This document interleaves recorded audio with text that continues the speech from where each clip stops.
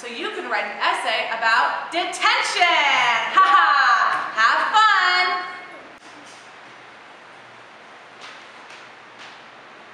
This is the worst. Yeah. Wish I could be dancing right now. Wish I could finish my science experiment. Who says we can't?